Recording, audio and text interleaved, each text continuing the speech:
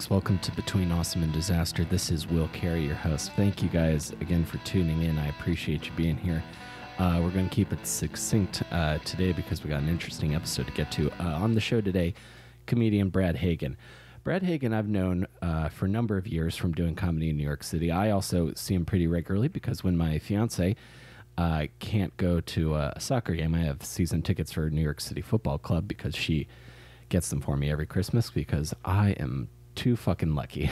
um, Brad is one of the few comedians I know who uh, who enjoys soccer as well. So me and Brad often end up uh, sitting next to each other uh, in Yankee Stadium, uh, watching a lot of uh, watching soccer and just kind of talking. And we and then I realized he had never done the podcast, so uh, I invited him over, and I we got into some really interesting, really interesting territory. Um, he had mentioned this a couple of times when in conversation, but I never really asked him about it in detail. But he was raised in the Mormon Church, which is something I know very little about, and he talks about his experiences growing up in the Mormon Church and then being a stand-up comedian in New York City. It's a really interesting uh, story, and it gets into a lot of kind of thoughts that I, my kind of back and forth on religion in my life and where I'm at now. So it's a pretty, uh, it's an interesting chat, and I'm, I'm looking forward to sharing with you. If you enjoyed this uh, podcast, feel free to tell your friends. We're on iTunes and Stitcher. You can subscribe, add us to your faves list,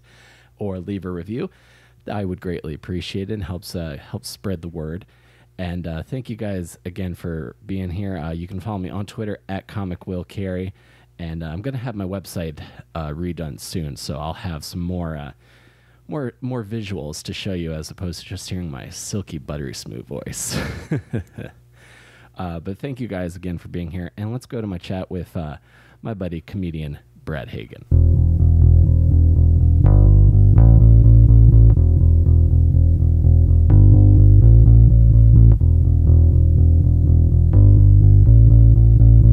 Yeah. I feel like California is a state built for Instagram.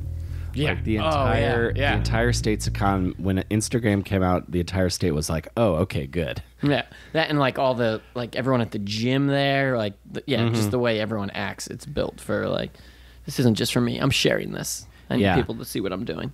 I've been to I've been to San Francisco, but I I, I don't know about you. I've I, don't know why, but like Southern California, as wonder as beautiful as it looks, has never I've never really been drawn to want to live there Mm-hmm. or spend like uh, an inordinate amount of time there. I'm just always been like New York East Coast kind of focused. Yeah, I've only been to LA and just it was in and out real quick. Mm-hmm. And yeah, I had no desire to go back. And I was not. I had no nothing there. Was like, ooh, I want to live here. Uh huh. Yeah, I didn't feel like that at all. It's too big. Yeah, is that an East Coast thing also? Like, 'cause Maybe. I feel yeah, like just born and raised. 'cause- Like trees. We want trees. Right, because you and I are not from the exact same place, but I feel like the same like quadrant of the United Mm-hmm. States.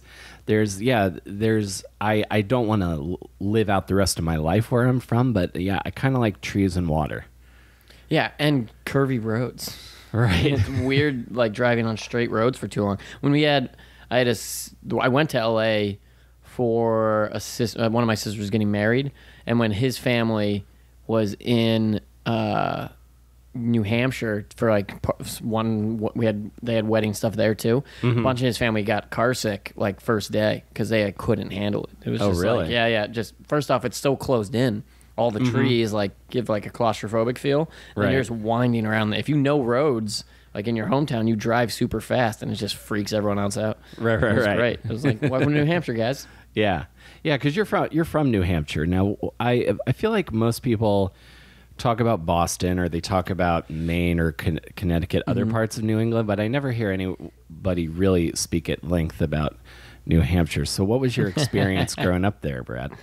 Uh, nice, beautiful. I guess I don't know. I came from a big family, so it was like, Uh-huh. like thinking about my when I think about my childhood, it's usually like real positive memories, but also it's partly because I was just like forgotten by my parents because I was three of six kids. Uh huh. So it was like I was able to do whatever I wanted, and like I just spent I like ran around in the woods. Like I was able to ride my bike anywhere. There's like no crime or anything like that. You don't have to worry about anything. but I was also given like zero direction from my parents Right. about anything. I just found out uh, like a year or two ago because I asked them because uh, I I something one of the few things I excelled at as a child was I was a really good goalie in soccer Uh-huh. because I had an older sister who was a very good goalie, but she was like two years older than me. So like that's all like and no one else to play soccer with, so we would just like take turns shooting on goal against each other for hours on end. Yeah. And so I got very like to the point where I was like probably like eight or nine, and that's the only position I played in like rec soccer. Mm-hmm. My parents never even noticed I was good at all, and then I just stopped playing youth sports altogether. Mm-hmm. And for a while, like I remember every year I'd get mad because I. Back then, there was no like online sign up for youth sports. You had to Physically like- go there. Yeah, it was like a one night every fall or winter or whatever. It would be like Yeah, yeah. you have to your parents have to go to the school to the cafeteria and sign you up. And i'd go home with the flyer saying like hey here's the sign up blah blah blah.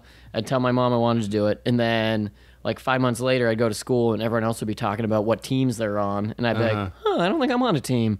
Weird mom. And i always thought it's because my mom like just forgot. She had a lot of kids a lot of stuff to do. And then Sure. i found out around christmas uh, I think two Christmases ago, I brought up to my dad, and he was like, "Oh no, uh, mom didn't forget to sign you up. We had a talk and decided we were done watching you kids play sports, and just had, they were they checked out on you sports by the time I was eight, Right. which is ridiculous." Because they had six kids, so after watching the first two for a while, they're like, "These, this uh-huh. is terrible," and just decided our happiness didn't matter. They wanted Saturday mornings to themselves. I was like, oh, "Okay, thanks, guys. I thought you were just being forgetful. You were just being neglectful. That's much better, much better." Oh man. So yeah, because I feel it seems that seems to be the pattern is that you're really hands on with the first kid, but like by the time you get to like second, third, Oh, yeah. fourth, fifth, and sixth, you're just kind of like, yeah, could you just like not bother me? And and and dying would bother me, so definitely don't do that. But then by the time they got to the sixth, like all of a sudden when like the youngest daughter, Camille, was around like seven years old probably, they're all of a sudden they're like, Oh wait, this is our last kid. And uh-huh. then they just went crazy, putting so much time and energy. All of a sudden, she was on swim team year round, going to uh-huh. practice at like six a.m. and stuff. And I was like, "When did what? You guys are?" in there, and they were spending like their Saturday, whole Saturday afternoons at swim meets. My dad became like an official and started Right. officiating swim meets all over New England, and I was like, "Wow, you guys! Well, when you want to put your effort in, you got it. There you uh-huh. go." Yeah, that's like the that's sort of like you know the the children who are like had parents who are like of the like you know like the 60s and 70s they're sort of like kind of real hard ass and and Mm-hmm. and and uh, something that I, I think a lot of it is masking fear is that you're just you're, f- uh, you were just maybe like afraid of like what was going to happen or Mm-hmm. or you were going to get hurt and not be able to work and then and then you're not bringing in any money and that's how it manifests itself is trying to like not show your kids fear but then when they have kids uh you're they you're they get this like big teddy bear version of your parents and you're just like motherfucker Yeah, yeah, no I kidding. didn't get that. that makes sense that you're a goalkeeper because of all of the positions in sports that I think that could be uh, analogous to the stand-up comedian, I feel like soccer goalie is the closest because you're alone, uh, angry, Yeah, when you have to work, Yeah, yeah. and- You're, whenever you have to work, it's not your fault. It's and and, else's. and if it, and if it doesn't go well, you're going to blame the people closest to you. yeah, yeah, yeah. It's a, yeah, exactly. I, I was a I was a goal. They would let me play goalie when we were like four or 5 goals up. Oh, Uh, nice. Otherwise, I was a defender. But I never. I would always like make really good saves. Oh, And I was also not above like a bunch of kids fighting for the ball and just diving in and grabbing the ball. oh, there you go. Yeah. Um, see, I was not. I was still tiny, but somehow, I don't know how I was. I was just. I don't know. Very springy, I guess. Then I was playing. It wasn't exactly like high end. People weren't putting in the top corner in Sure. rec league when you're nine. Yeah, It's yeah, Not so hard. ex- ex- exactly. So you you were like the who, who's the guy who plays for Real Salt Lake? Nick uh, Rimando something. like uh, that? uh, that does sound familiar. Yeah. Yeah, because he yeah. kind of has like an unusual like cat like style. Oh, like, not yeah. Like watching him save penalty kicks, he's just like a cat going like ah. I like that. Yeah, just launch. Oh man, it's been weird. The uh, have you been keeping up with the De Gea, the uh, David De Gea stuff? No, He's what's been, going on He's there? been he's had th- last four games. He's made three mistakes that have just let goals in. Like and and it's weird. I don't know how they do soccer stats now, because like who is keeping like how do they decide when it's his mistake that leads to it and not just Right. like you know a good shot and stuff like that because Yeah, uh, so, they- su- that's so subjective. yeah, and they're like, so three out of his last four games, he's made a mistake that let a goal in, and it was uh, before that, it was three in his previous like 120 games. He did that, Jeez. which is crazy. maybe he's got trouble at home. If something's going on, I it's always well, then they get that. they get shook up. It's like a big confidence thing. Oh, yeah. So it's kind of like, do they? And they're trying to. They have like contract stuff going on with him. So it's, Mm-hmm. do they sit him right now for? They have Romero, who's the Argent Argentine keeper, I think. Yeah, or Mm-hmm. was he had he has like over seventy five caps, I think. Sure. So it was like, do we? Do they bench him and put this other guy in, which could only hurt De Gea's confidence even more? Or do they Yeah. do they keep him out there and just watch it get worse and worse, and then they're in Europa? Yeah, ex- exactly. I always like like cuz I was at the I was at Yankee Stadium for the infamous uh 7-0 thrashing by the Red Bulls. Oh. I didn't I didn't leave early. I was staying the whole time. That was Frank Lampard's first game of that season. That was Jack Harrison's first game for New York City That's and sick. And about the time the fifth and sixth goals were going in, and, and you know, Red Bulls, uh, of course, just having a field day, and everyone's laughing at us. Um, but like, oh, just the look of, uh, just the look on Josh Saunders' face. He's like, I hope I have a job after Yeah, this. yeah, one bad game. Do you you have really good seats? Are there any away fans near you? Uh, very, very rarely. Yeah, I was gonna say. There have been a couple of occasions during, especially during the Red Bull when the Red Bulls come, Hmm. where there been Red Bulls fans sitting sitting near me, but it's I've never had any any trouble. Is it mostly season tickets around you?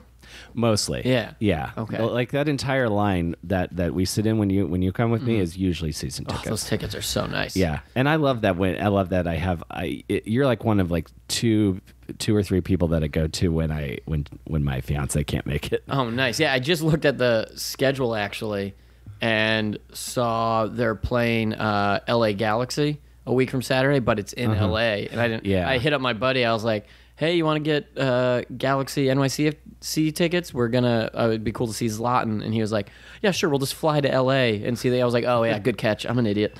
I didn't even think about that. Did they play? Have they played yet in New York, L.A.? They did, but the Zlatan was- was- Zlatan had not joined yet. Yeah, it was yeah. a couple games before he did and scored that ridiculous goal Yeah. Oh, from, that was such a good introduction. goal from halfway up the yeah. field. Oh yeah. He was like, "Hey, I, I like the MLS. Yeah. I could do okay here." Yeah. So soccer was early on for you. Um. So what were your what did your parents do that they were checked out by the time you were around? Well, my mom just raised a bunch. I say just, but like raised a bunch of kids. Uh-huh. And then, well, also when I was a kid, she had like uh, a side, not multiple side jobs, but she had one side job. She would sew Uh-huh. for a woman who lived like 20 minutes away, which when I was like five was forever. Whatever, like once a week, she'd have to drive out to this woman's house to drop off like everything she sewed that week, and I was just like, ugh, 20 minutes in the car. That's my life. Right. Uh, there goes my whole Wednesday. But she would uh, sew pot holders like uh, together. Oh, like okay. from the you know like how they have the sewing patterns that are like the crinkly paper Sure. and you sew everything together. So she would make hundreds of those basically, and just like Mm-hmm. garbage bags full. And then I don't know. And I would, I had very clear memories, very young of Uh, I would rip off all the the paper backing from all the Uh-huh. fabric. That was like my job.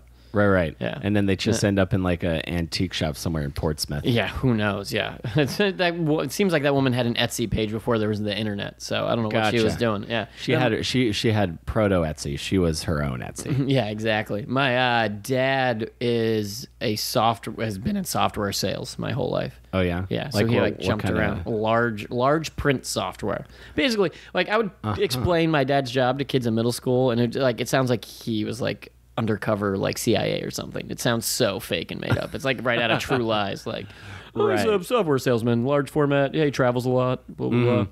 Yeah, that just sounds like one of those kinds of jobs that like it, it obviously exists because someone has has Mm-hmm. to do it, but there are certain jobs that you you listen to someone describe their job and like you know if anyone figures out a more efficient way to make that happen, I, I don't know what you're gonna do. Yeah, yeah, you're bro. you're out, you're in trouble. My dad's got it set now because he, like, he worked for a few different companies, but this last one has been. I think he hit 20 years last year. They had like a thing. He's like near retirement age, but I don't think he's going to retire because now he's reached the point in his sales where it's it's, You have he all the doesn't have to. Yeah, he doesn't have to like do anything. He basically like he'll hit me up uh, when he's on these business trips because he'll fly. He'll just go to like conferences and stuff wherever there's big meetings, but he doesn't like work in a booth. He'll just that's Yeah. where his clients are. So like he'll go to Vegas and just rent a pack of motorcycles, and then him and his clients just like ride Harleys out to Hoover Dam and back. And he's like, yeah, that's my job. Like that's what I did today. Wow. Well, I I, think, I guess if you put the, the time in, you want to enjoy it a Yeah. little bit. That's something. And one of six. How many brothers and sisters? Four sisters, one brother. Four sisters, one brother. Yeah, yeah. How how is that? Uh, I don't like. I don't, I don't know. Something I've been trying to figure out whether I was good. I'm not sure what effect all my sisters really had on me because I'm still kind of terrified of women. so I think they probably had something to do with that. Uh, and my little brother's even worse. Like he is legit. Like he's in his mid twenties. He's also very Mormon still. So I think Right. I think that might have more to do with it than my sisters, where it's like the whole time you're going through puberty and all that, women like all of the thoughts you have about women are evil and from the devil. So yeah, it would it makes them scary when they're like when they can jeopardize your eternal soul. It kind of makes them more into like a, a, a temptation than a human being. Right. You never just got to have a platonic friendship with a woman and like go and dig holes in, in the and be amongst the trees. Mm, no. This is something I'm curious about because you've brought it up when we're sitting at Yankee Stadium a couple times and I never knew how to ask you. You were you ra- is your family Mormon or were you just yeah, yeah, my family. I was raised Mormon. Yeah, yeah. you're raised Mormon in New Hampshire? Yeah. Are there a lot of Mormons in New Hampshire? Because I know near Maryland there's a big Mormon church, but I Oh, didn't that's the know temple. Yeah, the, the, the Mormon temple. yeah, near DC. insane. Yeah, I've seen it from the Beltway. Yeah, yeah. like, when you turn the corner on the Beltway and it's all lit up, it's like it's funny once you leave the Mormon church, uh, uh, all like the hypocrisy you see, and like one of them, I saw, I read a great meme that someone put. It was like a picture of that temple, and Mm-hmm. it was like the cost of lighting it per year, and like how many how many poor people that could t- like feed. And it was Uh-huh. like, yeah, but the church isn't going to do that. Right. They're going to build huge temples and, and light them. So, was there a big Mormon community in, in New Hampshire when you grew up? Yeah, well, kind of standard for like East Coast. uh Uh-huh. like the West Coast is crazy with Mormons. Right. They're everywhere. Uh, we had one meeting house for I don't know, like four or five towns, Uh-huh. maybe, and then. So one of one good way to measure how many Mormons are around is all the Mormon high school students, and this is insane, have to go to seminary class every day that you have school, you have to go to like a Bible study class basically on top of that, and it's before high school starts. So Oh, the wow. seminary class was from six ten in the morning till seven every morning, and then you go from like that. It was taught in someone's basement, and also the big scam in the Mormon Church is it's all uh, there's no like paid employees basically, except for Uh-huh. like way up top Sure. like everyone at the local level is just called of God and Uh-huh. God wants you. So like one of the jobs is seminary teacher. So you have to teach a bunch of high schoolers who don't want to be there, most of them, uh, a spiritual lesson every morning from like 6 a.m. to 7 a.m. when they're like all half asleep. It's you have to spend a ton of time every night preparing this lesson, and it's just you know because God wants you to. Right. It's just and sorry, that's what you have to do now. It's just re- and no one for some reason says no to their callings. Uh huh. They get like I got called into stuff as soon as I turned 12. I got called to like be president of like the 12 and 13 year old boys. Like I was like Uh-huh. put in charge of them. And then they told me uh it's all they're very like it's very uh organizational structure based. So like every group has a president and your first and second counselors Uh-huh. Uh, like even the youth ones. So I got called to be the president of the Deacons Quorum, which is 12 and 13 year olds, and they told me I had to call my first and second counselors, and I was like, well, "What do you mean?" And they're like, "Well, just pray and ask God, and mm-hmm. God will tell you who to who it should be." And I was like, "All right, this is weird." And like I prayed about it, and then like obviously like no clear voice in my head was just like these two, and then like the uh-huh. next afternoon I was like. I like thought I like, got a sign and it was like weird. Oh, that's convenient. God wanted my two best friends to be my first and second counselors. Thanks, God. Well, you know, he, he looks out for everybody. Yeah, every yeah. Now and then. Even though they weren't the they weren't the best people for that job, there was probably some other twelve year olds that were more deserving. right. But, I, I wasn't gotta- friend with them. I gotta imagine there's higher. I gotta imagine there's higher ups that have their. Oh, this guy is probably not the best, but I, I like him, so he he has that job now. Oh yeah. Uh huh. Wow. So okay. So you were in, and and is it called a calling because that's some like. To me, that's like some Renaissance fair kind of language. Like someone's like, "My calling is blacksmith, so I shall be a blacksmith until I finish." Yeah, no, yeah, it's called your calling. Like people, t- uh, like when you get a phone call from who I- I'm trying because everyone's got a job, and that's part of the that's part of how they keep you involved in the church though is because you have a job to do. Like Sure. you have to if you're in charge of teaching Sunday school to the eight year olds, you're going to come to church every Sunday, Right. Because you have to. Otherwise, who's going to teach the eight year olds? So it's a way to like suck people in and keep them invested. But you would get. So uh, I think it was like the ward clerk would call and be like, "Hey, the bishop wants to meet with you. When can you meet with the bishop?" And immediately there's like, Ugh, "What calling am I about to get? And how Uh-huh. bad is it going to be?" And it varies. Like you could get lucky and be put in charge of like you know the 15 and 16 year olds for half an hour and that's not the end of the world or you could be put in charge of nursery and have to babysit the three year olds for two hours every sunday Yeah. Yeah. Now I'm sure there's some very noble person that would take it, that upon themselves, and you know, that's the thing they all have to say you everyone says yes like Right. uh, not everyone but very It's- rarely do you say no right? Yeah. Because I imagine it's like one of those like, like it's like Pleasantville, like the the ball doesn't go in, and everyone's like, "What?" yeah yeah they What do- what don't do we- know what how do to handle it yeah i'm sure if you said no like there's some bishops who are just not used to being told no and that was the other thing like the local leader is called the bishop Mm-hmm. uh, it's like the priest of a catholic church but he's also like just a normal dude who's totally unpaid and that's like a 40 hour a week job Right. and he just gets thrown it on top of his other job and strangely enough it always seemed to be uh, someone in the ward who was like financially doing very well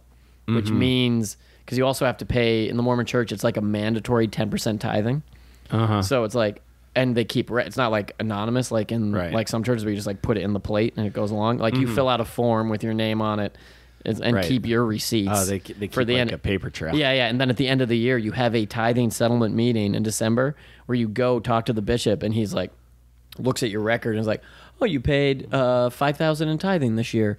That's a lot less than you paid last year. What's going on?" And they'll start like asking you about it. And there's some people who've been Oh like, they've God. asked to see like my like pay stubs to like know that I'm still paying my ten percent tithing.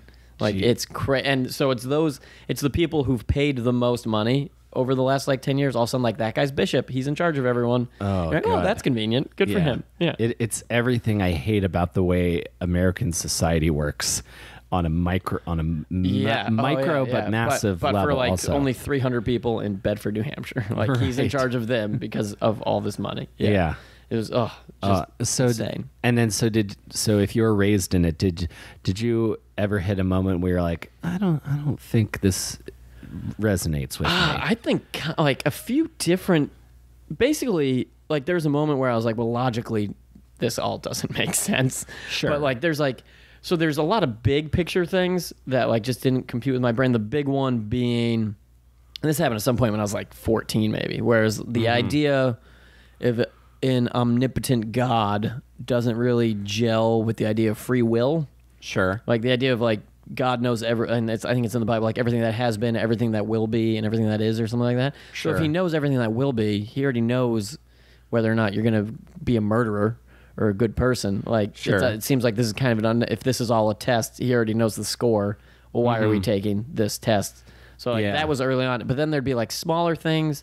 Like when I was a teenager, there was a super awkward moment in one of our Sunday school classes. We were outside, and the guy teaching the lesson was trying to get us to like really like he didn't want to just give us the answer, and it was about like type like types of sins like what are like what is a sin and what's not and he's so Sure. badly and like everyone you could he like feel how tense all the teenage it was a teenage boys only class oh yeah and we are all getting like kind of tense because we didn't want to talk about it, blah, blah blah. And it wasn't even like something like that bad, like sexual or anything. Because wait, Sure, we covered sure. Mm-hmm. we'd covered the obvious ones, and finally this kid like real shyly was like uh, impure thoughts, and he was like, exactly. Went on this huge rant about how like thinking something is like the same as doing it, and I was just like, what?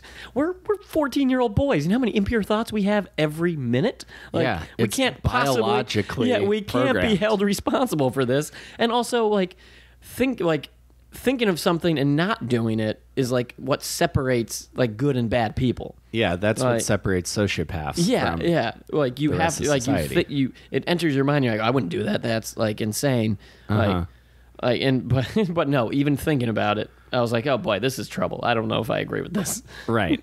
Yeah, I sort of. Yeah, I definitely hit a moment. Uh, a moment because I was raised Episcopalian, which, uh, like that Robin Williams, old Robin Williams joke, is Catholic light, is is how he would describe describe it. Same religion, half the guilt. Uh, so That's perfect. yeah, um, but like Episcopalian was like the uh, the like more liberal Catholicism. It was like they were cool with women, they were cool with gay people. You know, there were jousting tournaments at my at my church That sounds so much cooler than and, my church. and I would run into I would run into the the father. I don't know if he's pre, if priest or whatever at, at the like Chinese takeout spot. Aren't they? Are they ministers in Episcopalian? I, I don't I don't know. I've got a I got a friend who actually uh, who works for a, a church in North Carolina who listens to the show pretty regularly. So he could he's Yeah, gonna correct when he listens department. to this he's gonna he'll he'll he'll let me know. But um. I, I just I just always remember calling him like I can't even remember his his like if it's like Father James or whoever but uh, you know he always seemed nice. There the the the thing that that I think turns off a, a lot of people, and then you everyone go, and then there's this huge swath of kind of like angry, angry, indignant atheism when you're in like your 18s and 20s. Is that there's no sort of like cool laid back version of religion that Exactly. doesn't uh, that doesn't appear smarmy like if you think of like the prototype of the cool christian youth pastor who's, Oh who's just yeah. like trying to explain jesus via superman or or what have you uh huh. that that stereotype is like kind of is is kind of repellent also but there's there's no like there's no like hey uh, i read the bible there's some some cool stories in there and uh and it, it inspires me and uh Yeah, they're not that easy. Yeah, they go deep. But one of the I listened to a uh, I'm really into frisbee golf, Uh-huh. and one of the podcasts I listened to uh, is put on by this company, and they hired someone to be like manage their all their players, their like sponsored players, and Mm-hmm. it took me a little while. Like I was like. What is this guy's just like something? He's just like he was like he had too much like bubbliness about him, and I was like, you need Sure. to relax a little bit. And then it finally came out how he used to be a youth pastor in Texas, and I was like, ah, okay, now it all makes sense. Like, Uh-huh. yeah, that's like, come on, man, just Yeah. relax, stop being so positive and happy about everything. Yeah. Not everything is super cool and the best ever. Right. Like, relax. He just had, yeah, he had that vibe that like, right have you guys checked out the new pillar album oh, he also, yeah, he was also a musician. And did yeah I don't know he did a lot of like but just the, as soon as he said youth pastor I was like yeah that makes sense that Uh-huh. definitely I like what you said that Robin Williams quote because I say uh, when I talk about Mormonism on stage I say it's a lot like Catholic except we follow the rules which like really separates it in Yeah. a big way. Yeah, that was my it was so weird definitely. the first time I went to a Catholic uh, mass when I was 18 Mm-hmm. Like was just like it was kind of like shocking to hear I was sitting there with my girlfriend who I was having sex with at the time and it was just like uh, looking around and I knew like there was a bunch of kids I knew from high school who were there and I knew like what they were into and it was just like wow we're all you're all here being reminded that you're going to hell. Uh-huh. That's a weird oh and you're going to give them money for that. All right cool. That's weird. Right. Where at least with the Mormon church, it's like very much you're either in all the way or you're not. Like there's very they don't leave any room for doubt and Yeah. you're just following the rules, which leads like everyone loves saying how friendly Mormon people are. They're like, "Oh, I knew some Mormons, mm-hmm. like the nicest people, the nicest people." But that's because they're like the way the church is like packaged, it's basically if you follow all these rules, your mm-hmm. life will be blessed and Yeah. taken care of. So Sure. they like so it's it's like uh, anathema, I guess, to uh, to like be depressed and like have problems in your life or be like a, let things bother you and all that. Sure. because if you're fall, like oh are you are you is something wrong with your life? Well that means you must be sinning somewhere. You must be doing something wrong as Uh-huh. opposed to just being like oh life's hard. Life is a difficult thing to get through. Yeah. where the mormon church is just like oh you just follow all these big list of rules and don't drink and don't have uh, don't watch rated r movies and then your life will be great. And that's not how it works. Yeah, and like even things like mental health are just such a tricky thing. Like people, uh, sh- there are people that have everything going for them on pa- paper, or or they have societal advantages, Mm-hmm. but your brain chemistry is just off. yeah yeah and it's so, and you can't exactly throw a pull like a, if you follow these rules or pull yourself up by your bootstraps mentality just- to yeah, that, then it's fixed. because that's just going to make it worse. Yeah, because then you do all those steps and you're like, wait, I'm still bummed out. Like Utah, I think leads the nation in per capita uh, antidepressant medication. Yeah, I think Utah also leads the uh, number of paid porn subscriptions in the Oh, United yeah. States because again they follow the rules. Yeah, yeah, you got to pay for it. Don't steal it. That'd Yeah. be.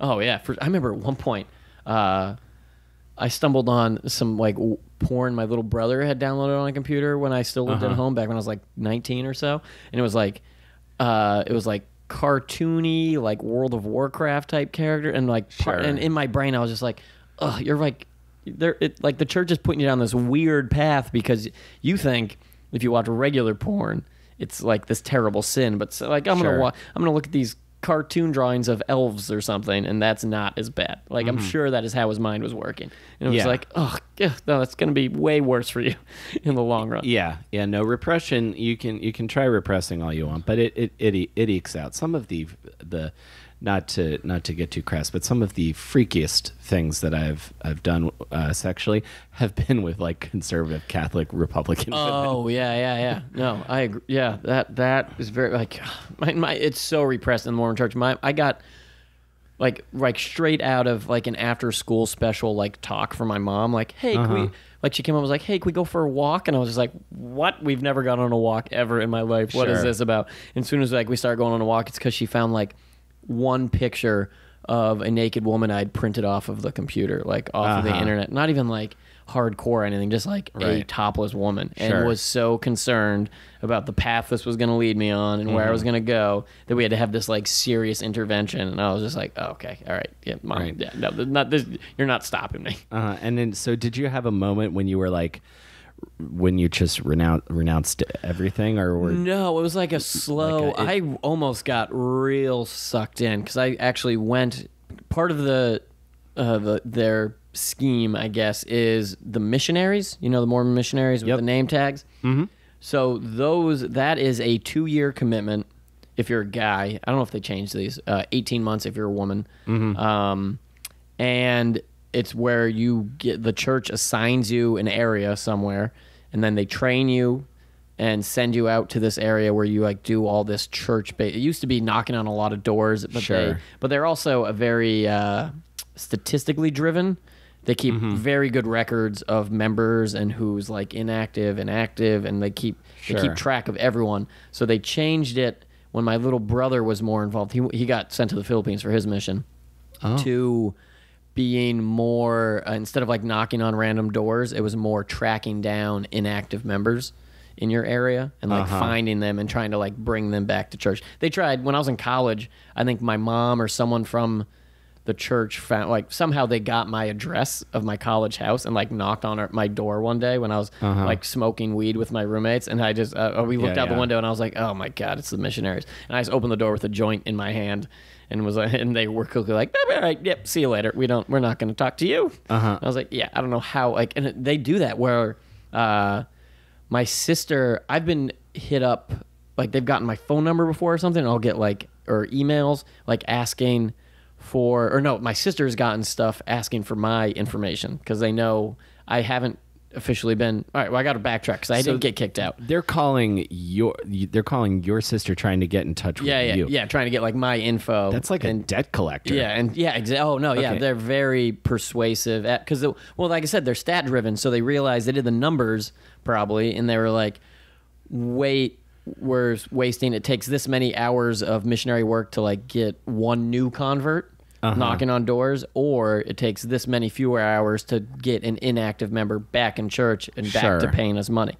And th- they and it's so weird how people in the church think all these decisions come from God because a big part of the Mormon church is they have a modern day prophet. The guy in Salt Lake City who's at the head of the church, they think gets direct revelation from God. Right. And so when he announces a change in the church, it's God saying that like when the church used to be racist up until 1978 and then they were like yeah, I saw Book of Mormon. 1978. Yeah. God changed his Yeah, mind yeah. about black people. well, they he, he yeah, so it's a whole thing like God changed his mind, and they don't apologize either. That's what's crazy is they've never apologized Uh-huh. because apologizing for something like that would be admitting God made a mistake. Right, God is infallible. There was yeah, there was a few years ago where there's like an, there's an onion type uh, website for Mormon news called like MormonNewsroom.com, and that website published a fake article saying the church had apologized for like its hundred years of racism, blah blah blah, and it got picked up by a few like main more mainstream media things, and like they reached out to the church,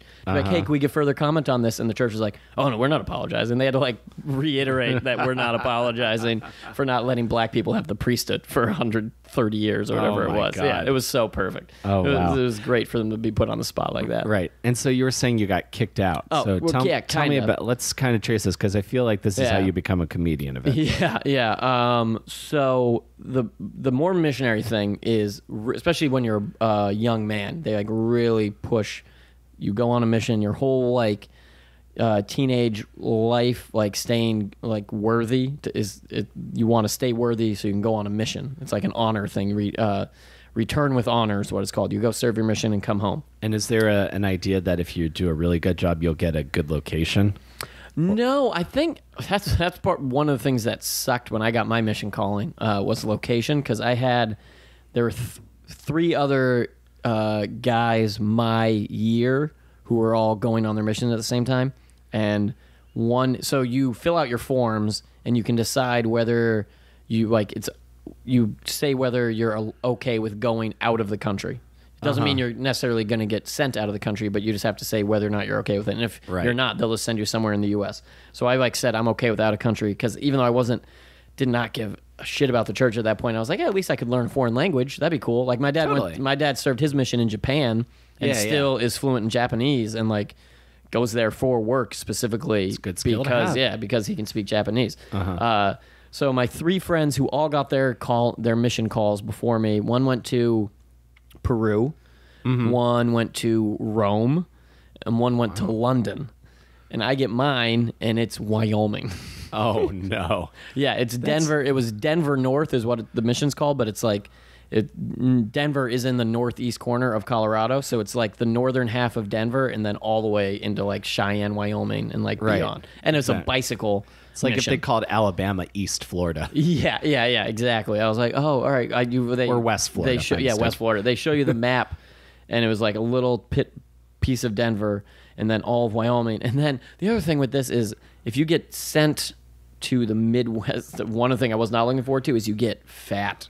Like we, I saw yeah. a missionary come back because you're. It's part of the. Uh, like members duty to feed missionaries so like Mm-hmm. the calendar goes around every sunday and you sign up for like to have the missionaries over for dinner but in the midwest where there are a lot of members you can end up eating like two or three dinners a night and it's all steak and potatoes because you're in like colorado and wyoming so Uh-huh. Yep. like we had one uh, family friend who was older than me and got he got sent to Utah, I think, which is just what a terrible place to serve your Mormon mission. Sure. Uh, and he came back probably like seventy pounds heavier. And Oh like he got off the he got off the plane. I was like, holy cow!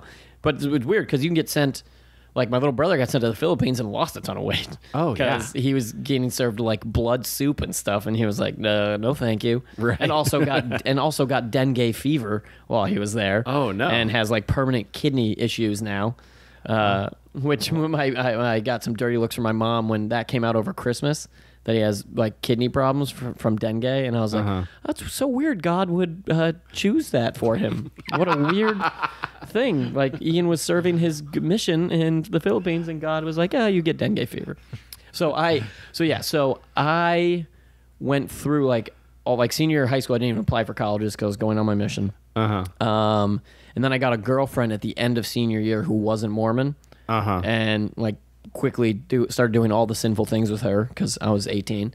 Totally. and, that's a normal reaction to have. Yeah, and so, but I still like proceeded to like continue with the whole mission. Like you'd go through a bunch of interviews and stuff like that with Right. local leadership, and they always ask you like, "Are you?" It's called the law of chastity in the Mormon Church. Uh-huh. They have like the law of chastity and the word of wisdom are the two big ones. The word of wisdom is like no coffee, no alcohol, no cigarettes. Sure. And the law of chastity is obviously the no, like even like petting. They would probably be like, "That's what are Mm-hmm. you? What that's a sin."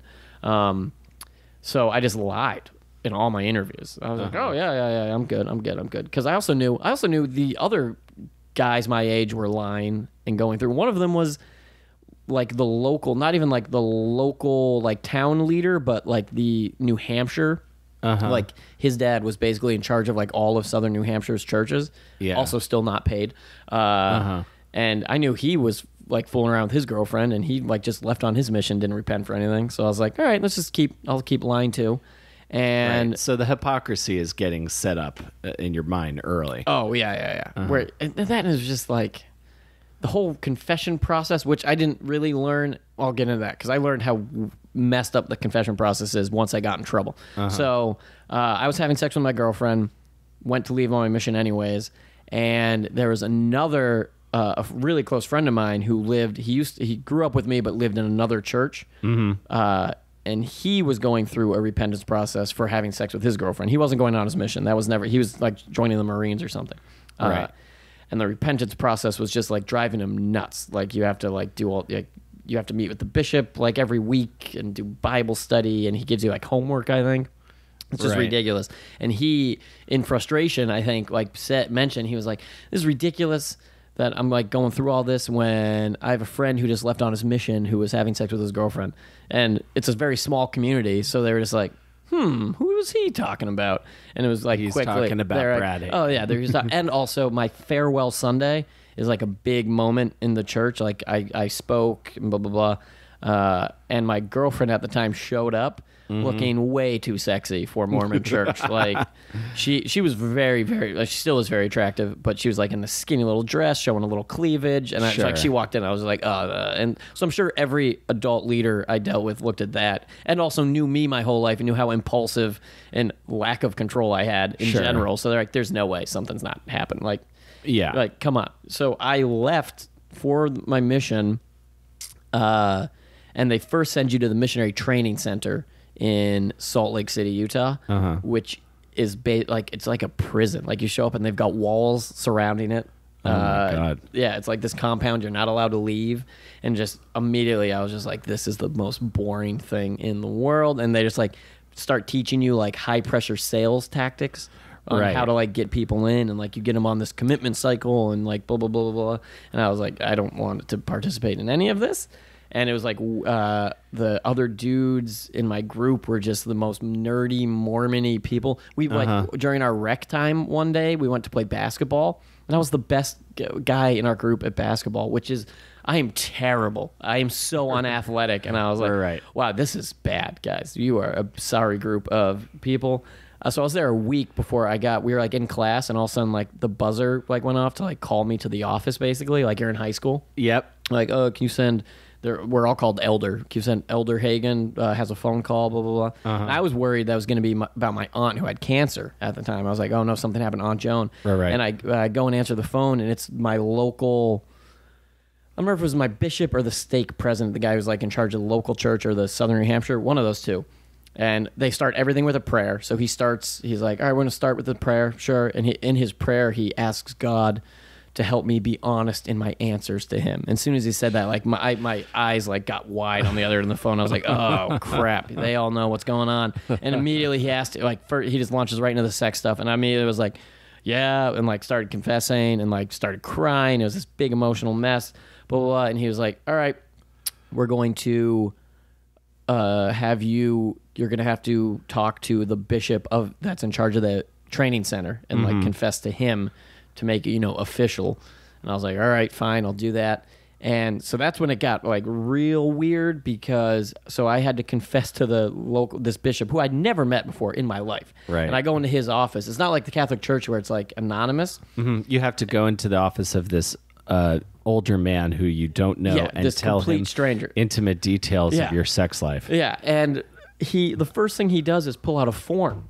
and starts filling out this form with like all my information on it, time, Uh-huh. date, all that stuff, like like a like it's a police interrogation, and with a big list of so he can write down all the sins I say, and Jesus. so he starts asking, and I was like, I had sex, blah blah, blah. and he asks, I remember he asked about digital penetration. Which took me a minute to be like, what do you mean? And I was like, oh, did I finger her? Yeah, duh. We had sex. like, like, do you Right. think we just skipped Yeah. all those steps? Like, what what do you think 18 year olds are doing? Right. We had a lot of free time together. and then he asked he asked me how many times we had had sex, and I started in my mind uh, tabulating the condom boxes I had bought because it's a dozen each, and I was like, Yeah, we'd only yeah. been having sex for like m- maybe a year before I left, maybe less than that. Mm-hmm. And I was like, all right, well, five. That's five. I bought five boxes. That's sixty times. She also didn't. She lived in uh, Manhattan. I lived in New Hampshire. Uh, look at me trying to like trying to justify my low sex count when I was eighteen. Right, Uh, right, right. That was more. I didn't lose my virginity until I was twenty. So go you. Oh, oh, thanks. Uh, Continue. That's that Episcopalianness. Uh, no, it's it's it's me being uh, an only child who doesn't know how to talk to humans. Oh yeah, that'll do it too. That makes it more difficult. Yeah. Um, so I, I did the math in my head and then like looked at this guy and I knew I was like, I cannot say sixty. If I say sixty, this is going to be a disaster. So I just said five. Right. Instead, I did total number of boxes. I was like uh, five times, and he just went. That's a lot, and I was like, "Oh man!" right. So if, I'm if- glad I didn't give the real number. You would have just burst into flames. like you would not have known 60. You would have just ran out of here. So you guys would have ran me out with pitchforks if I said 60. right, he would have just spontaneously just gone right up in flames. Yeah, yeah. Like, or "Oh, just pulled you a can of, pulled Yeah. a can of gas out and just Yeah, doused like, himself. five. It was so funny that he thought five was like this terrifying amount. And so he ba- he said after that, he was like, "You're probably yeah, you're not gonna be able to stay on your mission with that." And Uh-huh. I was and in my mind, I was just like, "Yes, thank God, I'm getting out of here." And the next day, I was like, they like booked me a flight and shipped me back home. I like took an early bus. It was so funny because I got put on like the like 5 a.m. bus that goes to the airport Uh-huh. with all the missionaries who were leaving the MTC to go on their missions to like fly out to like their assigned Sure. territories. And then I'm on the back of the bus, just like I'm going home. Right. I'm the bad one. And um, I'm on my at my connection or at the airport. I ran into a missionary who was going to my sister. My sister was on a mission in Chicago at the time. Sure. And he was going to her mission. He had been sent home for because he got like hit by a car on his bike Uh-huh. and got sent home for like medical reasons, and then went back out once he was healed. Damn. Which yeah, I know that's how good how good they are at controlling. And also, here's the crazy part: you pay for this. Right. This is not funded by the church. You have to. You it costs like at the time ten thousand dollars Jesus. uh, to do this, and it's like monthly. You like they break down into monthly payments, and it used to be in the seventies when my dad went. It was based entirely. It wasn't just like a flat thing. It was based on where you went.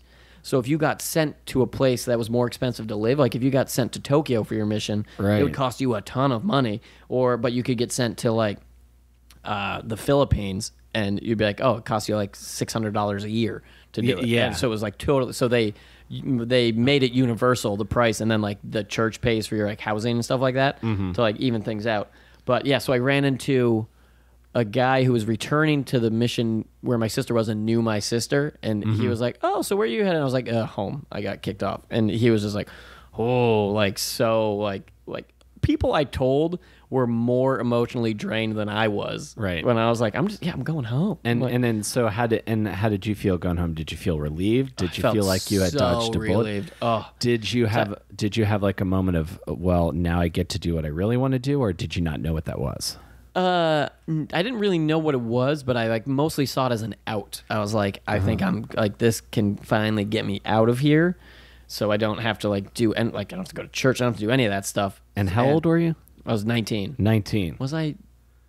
Yeah, I hadn't been 20 yet. Yeah, because I turned 20 the following December. Sure. And had uh, that's when I had like heart. Sur- I also found out later that I like needed heart surgery and stuff like that. So it was like, good thing I wasn't on my mission. This could have been bad. Right, what'd you need heart surgery for? I had a leaky aortic valve Oh, that I was man. just born with, and no one ever noticed. I got in a car accident, uh, fell asleep driving, and drove my Comanche pick my beloved Comanche pickup truck into a tree. Oh no. And then they brought me to the ER just as like a precaution because I didn't have my seatbelt Mm-hmm. on, and just bounced. It was crazy. Like I was out cold. I woke up Yeah. after I hit the tree. I'd bounced around in there. I'd like broken off the turn signal lever. Uh-huh. I'd uh, broken off like the shifter, like just for my body bouncing around. So they brought me to the ER just as a precaution, and I thought I was gonna be like in and out.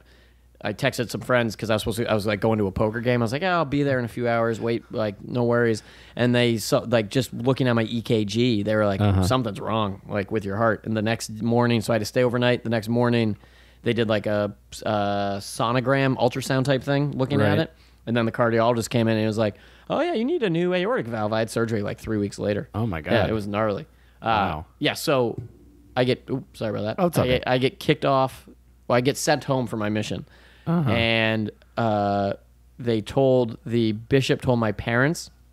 They gave they they he said to her or said to my mom like, "Hey, Brad's gonna need your support now. He's when he gets off that plane, he's gonna be a wet noodle. He's gonna be like crying and very upset."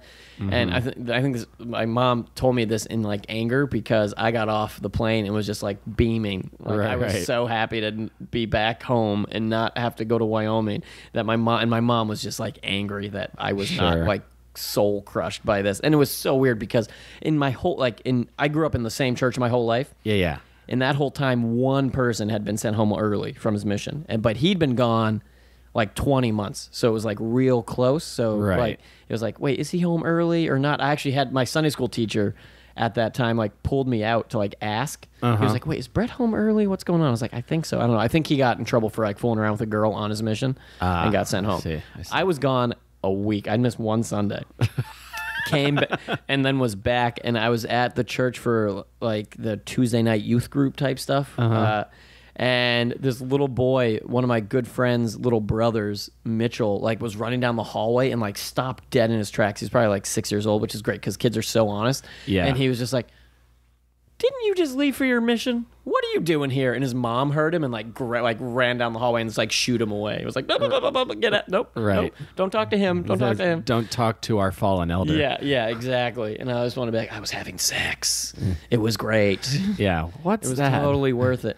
So then, so I went home, and that and the my whole confessional process wasn't over. I had to go to because my sins were so grievous. I had to go to what's called the High Council, Uh huh. Which is like this is where it gets like sco- like spooky, like weird secret society type stuff. So I had to go Uh-huh. to instead of just where before I confessed in front of the bishop one on one. This was a room at a different church at like the local headquarters church, Right. and it was I like sat at the end of this conference table that There's like a panel of people. twelve. Yeah, it was twelve old white dudes. Uh, around this table, and then me, and them, and them, Oh, like asking me all these questions about Digital what I did. Yeah, and like if I had one of the things that I knew, I I was pretty sure they were going to ask, but also there's one of the things along the way that I was like, this is stupid. Was the garments? Have you heard about Mormon garments? Yeah. the special underwear. Mm-hmm. So you get those when you go through the temple and get your endowments, which is what I had to do before I could go on my mission. So I went through the temple like a month before my mission and got the stupid underwear that Mm-hmm. is that has like some symbols sewn into it Sure. but mostly it's made to just like be modest like the win like the male version is basically like long briefs that go down to like above your knee and then like a white t-shirt Mm-hmm. Yeah, yeah. but the women get like the ugliest like leotard onesie thing like it's Yeah. so hard to find someone attractive in that basically Right, right. like they're just hideous but so i went through the temple and once you get your garments you're supposed to wear them all the time Right.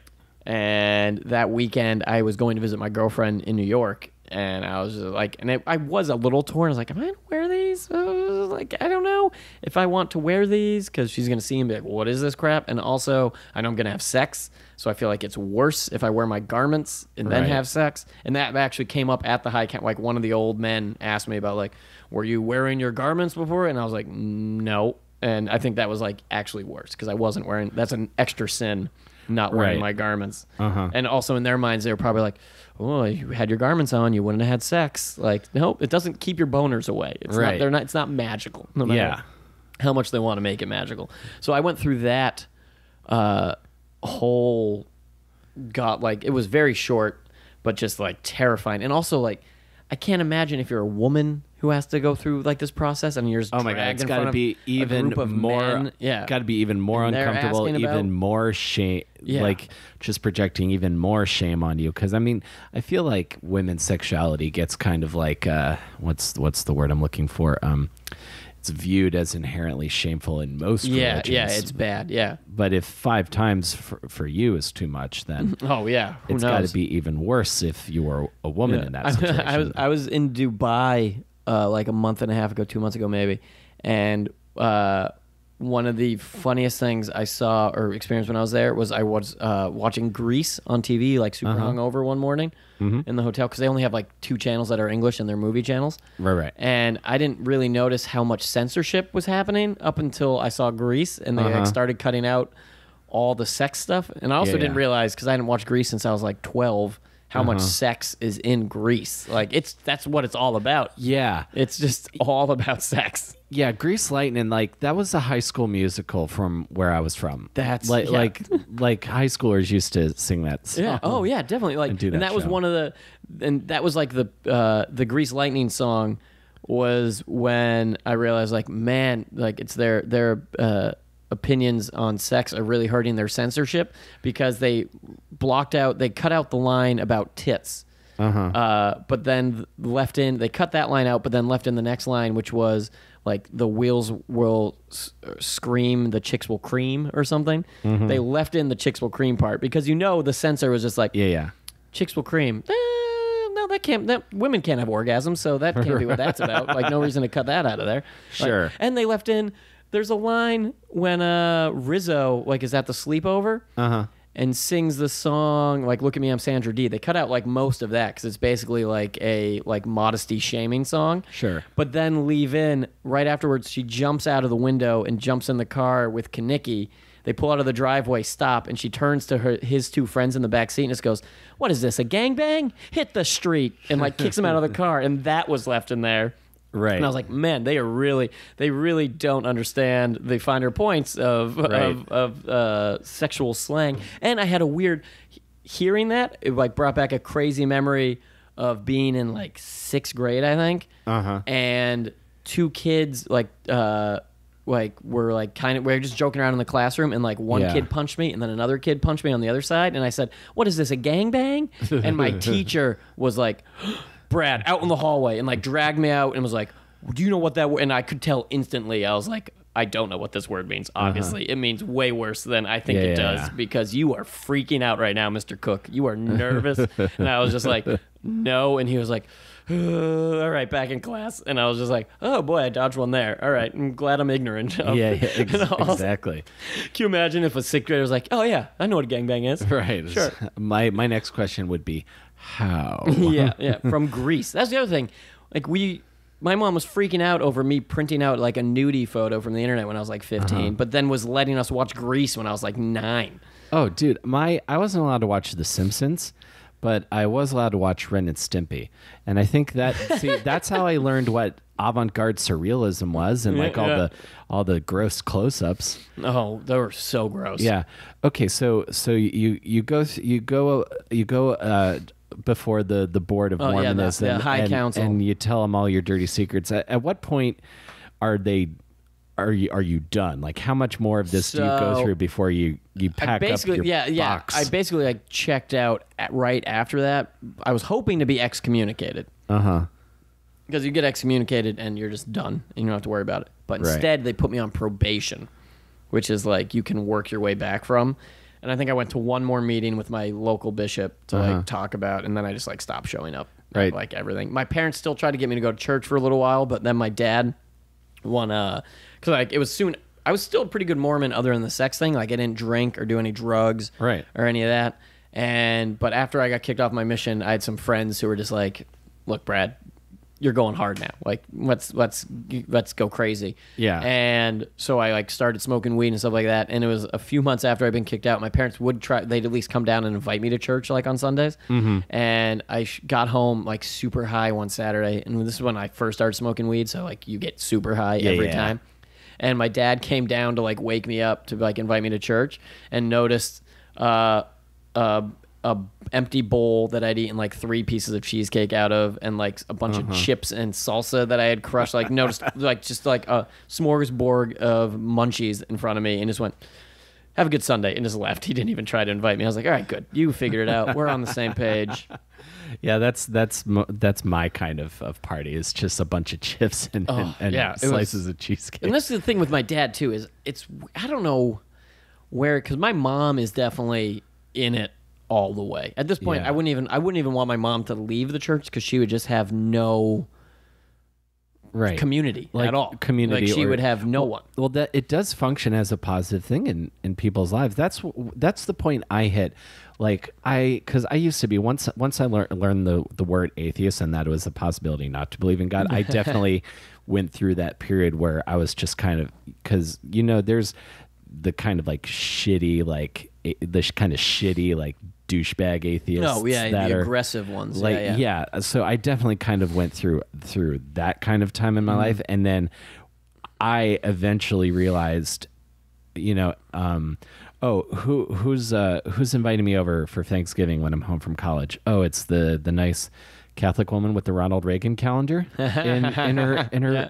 in her kitchen oh who's the guy that lent me a hundred bucks when i couldn't make rent when, my first couple years in new york oh it's my friend at, who i work at starbucks with who's a jehovah's witness Ah, he actually did that yeah, that's awesome. he he doesn't know me from Adam other than we worked at Starbucks Mm-hmm. together for less than a, less than a year, but I was in a really bad spot and then I paid him back. So um but yeah, just kind of learning you know k- Yeah, kind of yeah. stuff like that and then you know, being able to call myself on my own hypocritical bullshit really fueled my growth personally, Mm-hmm. I think. So um I'm at a point now where uh you know the pe- my friend my people in my life who are are religious uh you know we we talk we talk about it neither of us is trying to convince the Mm-hmm. other person of anything but the if someone wants to like start quoting start quoting uh, the bible when they're trying to make laws about pe- people's people's rights i Yeah. i will go i will I, I do want to get in someone's some face. things about slavery. I want to get in someone's face and go, okay, your God doesn't exist Yeah, my friend my friend's god he he ex- he probably exists and he exists to him your god definitely does not if he's saying that kind making you say that kind of hateful yeah, shit yeah.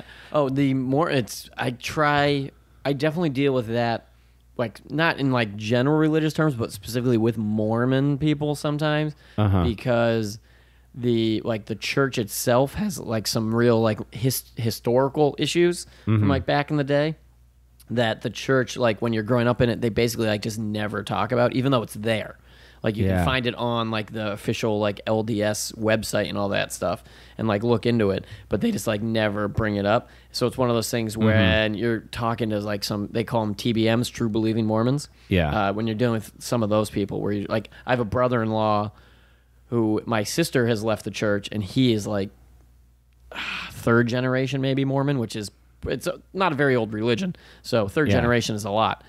And he's to the point where my sister has like they've there's a lot of documents online. Like there's a big one called the CES letter, which was this guy put out probably like eight or nine years ago, who was in there's a CES's church educational system because one of the Right. ways they keep you involved as a single adult is they have you go to these church education classes on like Thursday night uh to continue your learning.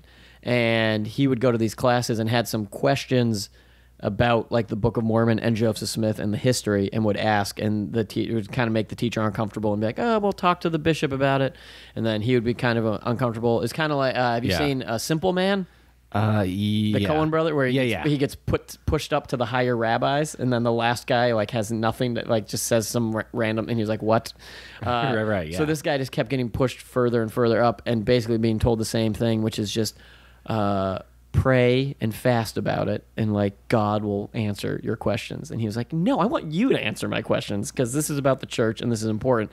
So he wrote this big, not even that long. It's probably like twenty pages, like a PDF that he put online saying like here are my questions i don't know why i'm not getting answers but this is really annoying and some of them are like real and it's funny because he went into like the real nitty gritty of truth in the in the church where I, I left just basically because i was like you guys all seem kind of crazy. Uh, the whole like logic, there's some logical flaws in here where Yeah. he was like, like one of the things he wrote about, which was brilliant in the Book of Mormon, which is for, uh, for people who don't know, the Book of Mormon is like in a. Uh, a supplement to the Bible, and it's basically Right. the story of these people who these civilizations in the Americas who Yeah. existed for these thousands of years, and then Jesus after he died, was crucified and resurrected in the Middle East, uh, came and visited the Americas too, like just you know like teleported basically, Mm-hmm. Right. And then like converted a bunch of them, like converted some of them, but then some of them were anti, and then a bunch of wars and all this stuff. And Right. so this guy in his CES letter questions, and so the and the whole Book of Mormon is translated by Joseph Smith, who dug it out of the ground in upstate Yep, New York. Uh, and he had some questions about like, hey, why are these maps that are drawn in here uh, identical to the maps where Joseph Smith lived? Like stuff like that. Like this is jo- the county where Joseph Smith lived, and here's the map that's supposed to be like somewhere in Central America.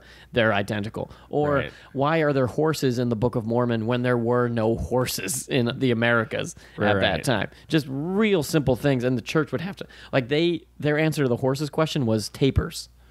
Which yeah, Ah, like tapirs. those giant anteater type things, which have never been domesticated for any Yeah. use. And they're like, oh no, they were riding tapirs into battle. And you're, just, ugh, that's you're stretching That's a there. s- that that would be a really quick war because I would just start laughing at anybody Yeah, who's riding like up on a, a tapir. tapir. Like what? Yeah. And also, there's no uh, DNA evidence. Part of the church's belief is also like these tribes in the Americas were is, is, uh, Israelites initially, Uh-huh. and they took these weird peapod boats across the Atlantic Mm-hmm. and made it to South America. And there's no DNA evidence of Israeli blood in in, Sure. in the Americas, and also these giant civilizations where and that had massive battles. There's no evidence of those either archaeologically, and there were there were church. I guess not paid. I mean, kind of because they worked for BYU, which is the big Mormon school. Uh, archaeologists in like the 70s and 80s who were looking forever to try to like dig up the stuff Uh-huh. To be like, eh, but we found where the Nephites had their massive battle. Instead, like one of them at the end of his career was basically like, oh yeah, I don't know if I believe in this anymore. I couldn't. Whoa. I looked forever and couldn't find squat. Right. like this is looking bad. Yeah, it's like that guy who predicted the rapture was going to happen, so he showed up to Times Square, and then uh, it didn't happen. Then he just Mm-hmm. He was like, I did. yeah, he's like, I did. I the forgot to carry. I forgot to carry the one. Yeah. It's actually in a couple years. yeah, just got back on the ferry to Staten Island. so, how do you go from being a fallen Mormon to New York City and and stand up comedy? Uh, well, I uh, part part of being one of six kids Mm-hmm. was like that's how I got my attention was from being the funny kid. Yeah. like I was always the wise ass. Got called Mm-hmm. a wise ass all the time. Uh, and so I lived in New Hampshire and was like putzing around going to school. I worked at a poker room back then, like a, a quasi. I think it was basically legal. This is after you're kicked off. Yeah, yeah, yeah. After I, because I, yeah, because that heart thing came up, Uh-huh. uh, and I realized I needed heart surgery, and to get back on my parents' insurance, I had to become a full time student. So I just like ran to the technical school Uh-huh. and just signed up for a full load. It was so funny. I showed up uh, to, I was like, I want to register for classes, and she was like, All right, well. Uh, you're gonna have to take a placement test to like find out where what classes you can go into, or if you took the SATs, we can, if your what your score is, we can go off of that. And I had taken SATs, and I was like, yeah, I got uh 1100, and she was like, looked at me like, what are you doing here? Right. she was like, oh, okay, yeah, take whatever class you want, you're fine. uh, so I just signed up for a full load of classes just to get insured. And while there, I met a friend from high school who worked at a poker room Uh huh. and he just gave me a job.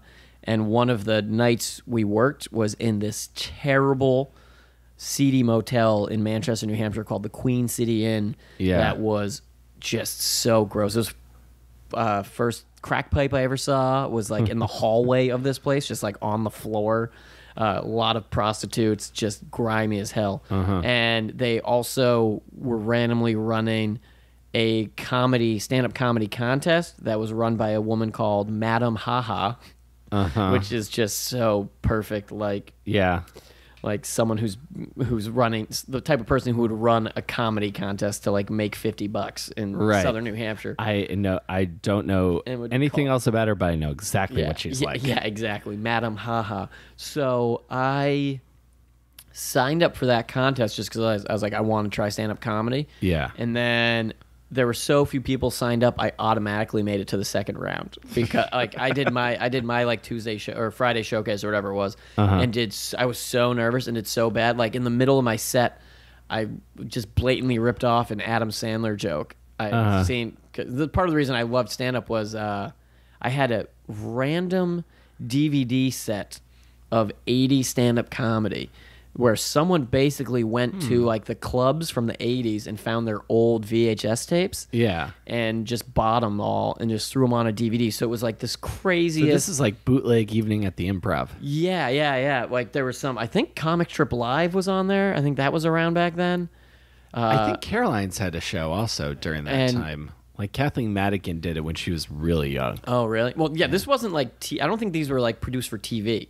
These were like the club's VHS camera. This like, is what they recorded. this is what they charge like the you Yeah, know, you- the new talent night yeah, you fifteen want, bucks. Yeah, you for. want a copy of yeah. Yeah. And but it was Wow. full of. It had Chris Rock, Ray Romano, Richard Belzer, uh, uh, Richard Lewis. It had everyone who be like it was basically anyone who became famous. They're like, all right, sweet, we can dig up their old comedy. And they had one that was Adam Sandler. Yeah, and yeah. He had some great jokes on there, and one of them was. Uh, uh, I was he was like I was so I was hanging out with my friends. Uh, we we were out of the bar and I saw this beautiful woman. I really wanted to talk to her, but I was nervous. And my friend said like, "Hey, what's what's the worst that could happen if you like ask her out? What's she gonna say no?" And I finally got up the courage and I went over and started talking to her. And she said, "Get away from me, you loser." And I was like, ah, kind of broke the rules there, lady. uh, but in you know the Adam Sandler weird cadence. Uh, so I got so nervous in the middle of my set, I just ripped off that joke and got zero laughs, and I was like, ah, crap, this is really not Uh-huh. Right. going well. And then got auto pushed to the next round. Uh-huh. And then this was the worst part was I actually made the finals. Like Yeah, I yeah. got my stuff, my uh, stuff together, and she, I was like, uh, I made well, no, I made the semifinals, and then Mm-hmm. when I went she like I got an email about it and I was like, wait, the finals are the same night as the se- like we are doing our round of semifinals and the finals that night and it was in front of the same audience. So I went into the semifinals, Uh huh. advanced to the finals with like six comics, and it was the same crowd an hour later. Like ha- like it was like we took an intermission and I was like. I only have eight minutes of jokes. I don't have another eight minutes.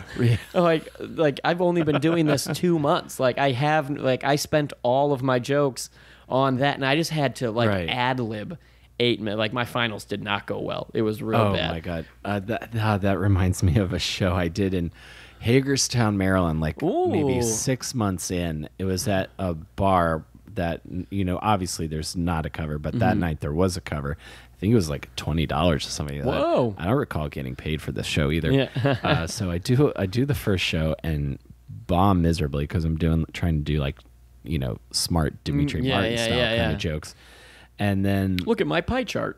yeah, and then I did the and then the second show I just decided to to uh, the second I kind of I guess I kind of took the advice of the of someone uh because it was with um, my friend Alex Powers and Sean Savoy I believe, and they just kind of told me to make f- be aggressive at the crowd. So I Uh-huh. went up and I said. Uh, I just insulted them for a few minutes, and I said, they- "Oh, the the bar is near the high school, which is near the prison. So it's the place everyone starts, and then two places you fuckers end up." and they liked and that. they probably crushed. and yeah, they and they liked yeah. that. But then I couldn't continue that, so Yeah, I just had to "Ah, go back and do the same one-liners I just did for the same people. Oh man, I do. Oh my god! one thing I really miss from. Like, I hate. I don't miss the driving, like having to drive two hours to like go to some VFW where Uh-huh. it's like I had I had one show once. I remember I drove. It wasn't too bad. It was like an hour out to this VFW, and it was a little league fundraiser. Uh huh. And I get there, and the guy who like uh, hired me was like, "Hey, uh, I'm not sure how many people are going to show up for this because the there was a fist fight at the little league game today between the president and the vice president of the league. So there was like a huge. They were supposed to have this big fundraiser that night, and but like a huge divide grew that day. Like a, a squabble broke out, so it was like a half full place, and I felt so bad. I was uh, opening. and There was another comic. The guy who booked me was featuring, but then the headliner was a dirty hypnotist who was the Ah. son. He was the son of another like this guy was a famous dirty hypnotist who toured all over New England, and he was this guy's son. I feel like I've i know who you're Nick, talking Nick about. Santos. That sounds so Santos familiar, Jr. yeah. is his son. Yeah, and uh, he told me I did I did my set and it went okay, and then because I had a ton of little league jokes at the time, so those Yeah, went yeah. well. And then while, while the other comic was up, I was talking to him, and he started telling me how he was worried that he wouldn't be able to find someone to hypnotize because the crowd was so small. It's like one out of 30 people or something actually can be hypnotized, and there's Uh-huh. only like 25 people there. He was like, I might have zero act. Like, if I Yeah, can't yeah. hypnotize any of these people, there's nothing to do. And I, luck, I kind of wish I had stayed now because, uh, but I left. I was Uh-huh. like, I can't handle, especially back then. I would do all these uh, road gigs where I'd like open or feature for some comic who is like 55 and hasn't written a new joke in 20 years.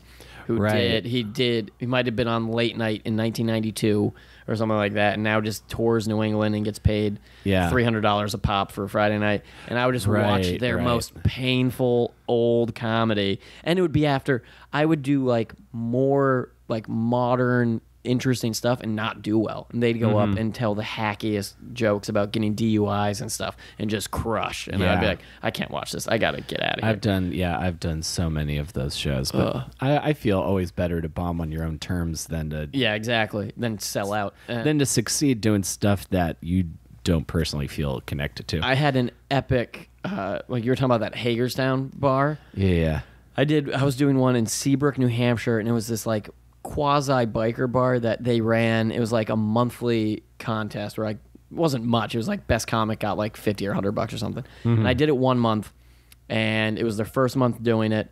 And there was a bunch of people at the bar who were not there for comedy being really loud. I went up 1st mm-hmm. and just struggled through my entire set. Nothing was working because they were like talking over, blah, blah, blah. right, right. And then the host go up, or the host goes up uh, after me and announces how they're opening the back bar. So anyone who's not here for comedy, go hang out in the back bar. So they all leave, and then the show ends up being great. And this Yeah, yeah. comic who I knew I was way better than won that night, and I was like, "Well, fuck you, I'm coming back here." So I came back, and a, a few months later. And I'd been watching a little too much Zach Galifianakis uh stand up at that point, where he is not afraid to just get real loud and like that fake anger he has. That's Yep. so funny. Uh, and it was his live at the Purple Onion where he like yell. He does some great crowd work. and, Oh, yeah. and, like yells at some people, and then like one guy like describes his job, and he just gets like. He gets like a painful look and just like, "Oh God, you're so boring!" Like just like so perfect. Yeah. And so I went that night when I showed up. I was like in my mind, I was like, you know what? If they're loud and talking, I'm gonna like do something about it. I'm gonna shut this place up. Yeah. I go up, start doing my set, and there's this dude like 20 feet, uh, like in front of the stage, right, Uh huh. Just loudly hitting on this woman, just right. like so loud. And I conti- I like continue, uh, try to ignore him, and he's still like being so. Eventually, I just like walk off the stage, like I just kind of run up, and he's right behind this couch. I jump on the couch and start yelling at him to shut the hell up. Like, Uh-huh. would you see what I'm trying to do here? Shut up, shut up, shut up. And then he just go, he looks at me and goes, "Sit down. You're done. It's over." And I look over, I look over at the judges, and he was like, uh, "Sit down." That was the owner of the bar. Oh my god. I god. ran up, and got right in the owner's face, and told him to shut the fuck up. I'm trying to do comedy here. So my set was just over. It was like two minutes into my set, and he was like, "Nope, you're done. Sit down." Uh, and so I went and sat, and I was like near the front, hanging out with a buddy who I drove drove there with, and I Uh-huh. didn't know at, like while we were sitting there, a bunch of the biker dudes like were like kind of like conglomerating and trying to Sure. decide like, are we gonna beat up this little punk who just yelled at the like the guy who owns our bar? Yeah. And luckily, and I didn't see this. We left before it was over, and Mm-hmm. the bouncer stopped like two or three dudes from following us out into the parking lot. Which I yeah, I was like, are you kidding me? Like, and also I'm 135 pounds. Like, Yeah. why are there two or three of you? What what's the plan here? And that night, and right at the end, I missed it because we had left. A crazy windstorm had uh, like blew through Uh-huh. and knocked the power out right when they announced the winner. They're like, and the winner of the show is blah blah blah. I can't remember. It was like Chris Cameron or something. Uh-huh. Then the power goes out, and a, Mm-hmm. a bunch of the comics didn't realize I had left.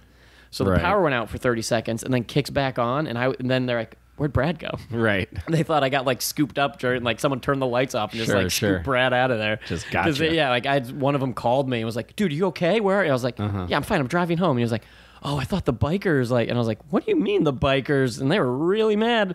That's when I was like, "All right, no more Zach Galifianakis style." Right. Anger it did not work, but man, I hate. I'm so glad I never had to go back to that place. yeah. Oh, And then what? And then what brought you to New York? Uh, I base like I was doing comedy. I kind of got fed up with like doing the road stuff. Like I was making money, but doing a lot of shows where it, like wouldn't really go that well. Right. Uh, and then I'd watch you know the fifty year old comic crush it with like poop jokes. Yeah. And also, uh, there was a girl in New York who like actually the girl who uh, I wa- had dated on my mission. Mm-hmm. Uh, thank God for her. And but we'd like we'd been hadn't been together for like ten years probably at that point. But I was still like, yeah, someone I know in New York at least. And then I had a friend who was in grad school. Uh, who had just graduated and he was moving to New York and it was just kind of like one of those like eh, why not like I'll try it Uh-huh. type things and I was miserable for like the first 12 hours I think like Uh-huh. initially I moved in to the East Village and my bedroom was so small I couldn't have my bed in its frame and still open the door.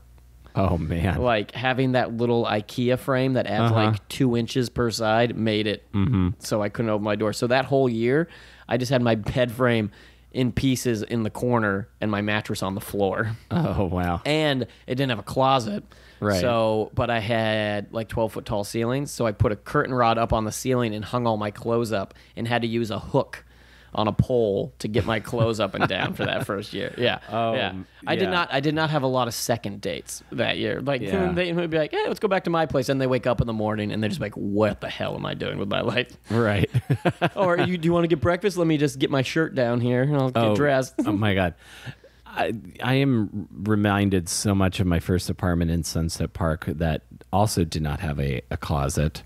So I just, but there was like an old drying rack that the previous tenant had left. So I just threw all my shirts on that. And I put my pants and underwear into a cardboard box, and and I still, I still had sex in that room. Yeah, I know. That's what was crazy. Every time I was like, like that's a good moment to realize too, because you think. I remember in college, uh-huh. whenever you go to a party and stuff, you like. Like you clean your room, make your clean room nice and clean beforehand, like make Yeah. your bed and stuff. Like, like that's gonna be the difference. Like, like you've already Yeah, done I all the did work the to mo- get a girl back there, and she's gonna be like, "Ugh, your room's a mess. I'm out of here." Like, no, Yeah. that's not how it works. yeah, I, I was I was doing the best I, I could, but I'm I'm glad that things are I'm I am glad I'm not still there. Yeah, Um, I I, I you know because that's that stuff is all fun for a while, and then mm-hmm. eventually you get to a point where you're like, okay, this this like this isn't quite working for me. This is affecting my mind. yeah. So I, need, to room. I need to make some changes or, or- so that I can continue to pursue my dream. Mm-hmm. What kind of miss living in the East Village? Mostly like it was miserable, but it was a much better motivator because it was me and four roommates Uh huh. Who were all really cool, but it was a tiny apartment. Like we, Right, right. we hung out a lot on the weekends and stuff, but basically it was like as soon as they started to get home from work, I was like, I'm out of here. I'm gonna go do open mics or shows, whatever. And in Manhattan, there's so much comedy everywhere. I didn't even like own. I didn't even buy a subway pass for the first like six months because you just walk everywhere, which is also really good for writing. Yep. Like putting in the miles. Uh, so I would just write a ton. I was doing comedy like 10 times a week. It was like just basically just to not be home at the same time as my roommates. Where now I have what's basically my own apartment. It's like a s- separate basement room with its own entrance. That's like a studio Right. Right. uh, and huge. I like it's so hard to get motivated to go out. Like I get home from work, sit down, and I'm like, ugh. Like even if it's like there'll be a show five blocks away from me, and I'm just like, yeah, but I'm home and I'm it's, I'm fine. Like why do I? I don't need to do that. Yeah, I'm I'm at the I'm at the point where I'm much I'm trying to work smarter about my stage time. Of course, if I was having really nice book shows every night, I feel I would of course pref- prefer Yeah, that. yeah. But when I am doing stand up, I'm enjoying it much more. And you know, I feel I th- I just there's a certain uh, not that not that I feel much older than other people who are doing open mic comedy, but I just I don't have the patience Mm-hmm. Yeah, for I- for these kids I tried like probably six months ago. I hadn't been to an open mic. Actually, I probably did like one or two at Pine Box just because that's a place I've been to, you know, hundreds of times and very comfortable. Uh, and and I like that bar, so I don't mind just hanging out there I, for I a like little that while. room. I've done my one man show Yeah. there. Oh yeah, I saw your one man show there. Yeah. Oh, thank you. great. Yeah, that's Uh, right. I remember you. Uh, the I went to uh, what is it, Alligator Lounge, whatever the Williamsburg one is. I can't remember if it's Alligator or Crocodile, but I went. Yeah, I know what you're talking about. It was a random Tuesday or something. I was like, wait, I think they still have an open mic there, so I just like stopped in. Within 20 minutes, I was like, I'm gonna kill myself. This is so bad, and I I waited like two hours to do my two minutes. Everyone else had left at that point, and it was just like this is so pointless. Which is a big, I think a big part of it. Like instead of spending three hours at an open mic to do two minutes, if you spent that three hours just writing, Yeah. if you spent that three hours just like in front of your mirror pacing back and forth, you're going to progress more than you are at that open mic. Yeah, I definitely hit. You definitely hit a point of diminishing returns. Like it's important to do that early on, but I feel like Mm-hmm. more to you- like meet people. yeah, yeah. and then also just get physically comfortable with the act of standing on a stage with a microphone and talking in front of people. Mm-hmm. And yeah, and it gives you some understanding of what is and isn't funny. Like you want to you want to get to the point where you can write and it's not always true. You'll sometimes write a joke you think is the funniest thing ever and no one will ever laugh at it. I've Mm-hmm. had that happen. Uh, and but you reach a point where you should know if it's going to work. Like you when you write it you're like, "Ooh, all right, that's a good joke." You don't really Yeah. need to go to an open mic in front. And also when you do 2 minutes of comedy, or even like th- like three four minutes there are some like you can try some humor that Mm-hmm. not going to work where if you're doing 20 minutes it'll crush 15 minutes in there's Mm-hmm. if if you've established who you are and everyone in the audience is more on board with your persona and character you Yeah. can tell like the more extreme jokes and they're gonna like you can slowly build up to them Mm-hmm. where if you just have a two minute open mic or you're doing like some bar show that's like an ambush show and only you only get six minutes you can't just jump into like the crazy sex jokes or like the crazy blue stuff right away Mm-hmm. Totally. because they're gonna be like who are you what is yeah, all this they, about they got to like you first. yeah yeah where if you if you're given actual time man you can you can that's the best i miss that about like 20 30 minute sets when when it's you they're so in tune Mm-hmm. with your cadence and stuff they start laughing at like the non punchline parts just Right. because like that's like every time you take a break they like it's just a reflex at that point they just start exactly. You got the you got the groove kind of yeah going. yeah Um, oh it feels so nice Yeah, abs- absolutely. That's why that's why I love the storytelling community because you can kind of establish that groove quicker Mm. because it's just a more in tuned kind of. I've been thinking about. I need to try. I should get some uh, storytelling spots from you because I've been trying to do a one man show about the whole growing up Mormon and leaving Yeah. the church thing. I was hoping that you were because yeah. there is a lot to Yeah. mine from that. And there, yeah, and but it's definitely more story mode Uh-huh. than like stand up mode. Right. Well, other than Jake Hartz on Tuesdays at the at the Creek, um, David Lawson, who was my first guest on this show, uh, has a, a monthly storytelling show at the Astoria Bookshop. I think it's it's either the fourth. It, I believe it's the fourth Thursday. Okay. Um, if he listens to this, he can tell me what the right date is. Did but Did you ever go to the Waltz Astoria up here when they were when that was a thing? It was like I had like weird riding my bike up here was like deja vu. City. Oh, yeah? I used to because I would like bomb up twenty first all the way to Waltz Astoria, like trying not to get killed by cars, and because they had. I uh, I spent so much time there one summer because they had like Tuesday and Wednesday nights. You spent ten dollars on their terrible food and drink, like it'd be like a six dollar cucumber sandwich or something like that. Mm-hmm. Uh, you would get ten minutes. I yeah, I remember that place. I don't know if I ever made it up there because it was kind of a hike from Sunset Park. Oh yeah, that's way. Um, and ten dollars I think was outside of my my budget during those days. Um, I spent a lot of time at the now closed Rapture Lounge, uh, Oh, okay. near 30th Avenue, uh, on the NW, and I also what what there was one there was one other unusual spot that I I used to do. I think I might have done a set at this like black box theater that's not the creek but near the creek Oh, interesting. Um, so that's kind of where I was. And then my f- really formative spots when I first moved to New York were it was a, place called the Perch Cafe in Park Slope, oh, okay. which was on Sundays, and it was like music, co- comedians. That's the a- thing. That's what was Wal- a- Waltz was music and comedy, and those were the best mics when I first moved to the city because they give, even though it'll be like musicians, you get two songs, comedians, you get like ten minutes. Sometimes musicians do like twenty minutes because it's two Yeah. two songs they wrote, and they don't know Uh-huh. how to be concise yet. Uh, yeah. But I would also do the Lucky Jacks Thursday night. Was it Thursday nights? Yeah, I used to do that with Thursdays. Frolix all the time. Oh, yeah. It was Sasha's thing, who was just. if, if, if- oh man, he was a hippie who worked at a library in Hoboken and aspiring like loop musician. So just picture that. That is Mm-hmm. Yeah. Sasha to the T. And that was the mic where he would draw. You sign up, then they draw names, and you like decide where you want to go. Yeah. And when I lived, it was the best when I lived in the East Village because I would go to that mic, and if I got because that mic would go from like eight to like two a.m. Uh-huh. And so if I because it would always be like they'd go from like 8 to 10 10.30 and then have like a feature performer which could be a c- comedian or some musician it would be all over like i remember seeing Yeah. some weird like japanese like not k-pop it was like a japanese like boy band basically Oh, really? it was they were like visiting new york and did a crazy thing i saw uh i don't remember what the african instrument is that's the giant gourd that they put strings on I know what you're du- talking yeah, about, but I watched don't know some the dude name of it. jam out so hard for 45 minutes one night. I used to get super high and be this is the weirdest, most New York shit possible. Yeah.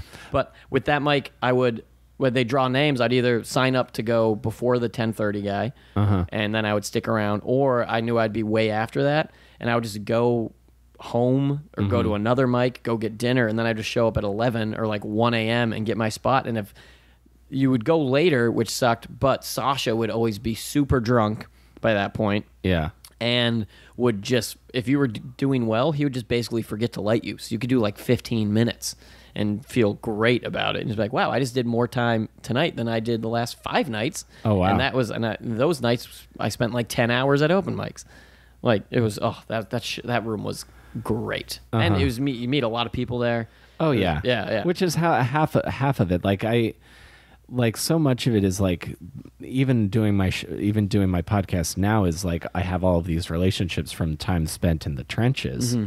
uh, that I really, uh, that I'm really thank- thankful for now. I'm I'm always thankful for that time. My uh, the most one of the most New York things I ever did. And this might be a good way to to close this out. Close this out.